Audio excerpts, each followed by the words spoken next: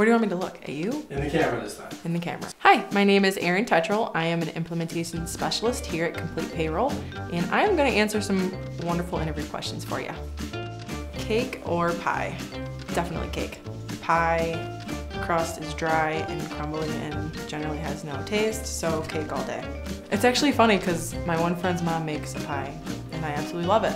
It's an apple pie, has the crust and everything, but cake's, cake's just better. Oh. Cats or dogs? So I currently have two golden retrievers and no cats, so that answers that question, dogs all day. They have a box of poop in the house, I can't handle that. How would you solve problems if you were from Mars? There's more, there needs to be more love in the world. I think that would solve a lot. A lot of love, definitely. No hate, kindness, world peace, no fighting, no criticism. People can have opinions and not get attacked for it. Love. People just need to love more. Hate less. Coffee or tea?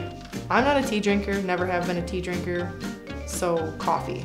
However, it's gotta be iced coffee and there can't be really any coffee in it. I'm more of like a cream and sugar person. So cream and sugar. How would you direct someone else on how to cook an omelet?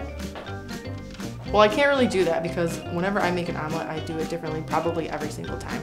So I think I would more or less, as long as it's done and it tastes good at the end of the day, I don't really care how it got there. Who would win in a fight, Batman or Iron Man? Definitely Batman. My son is a huge Batman fan and I'm just gotta, I gotta go with him on Batman. What would the name of your debut album be? So touching on an artist who just recently passed, his name was Aaron Carter. My name happens to be Erin as well, so that just made me think it's all about Aaron. Take two. What do you think of Garden Gnomes?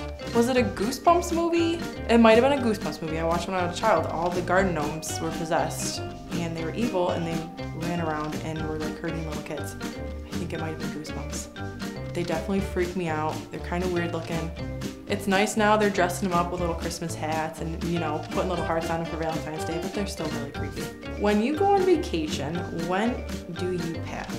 So sometimes I pack a month in advance, or depending on my schedule, how busy I am, if I'm feeling up to it or not, I'll pack like the day before. It's a toss up. What's the color of money?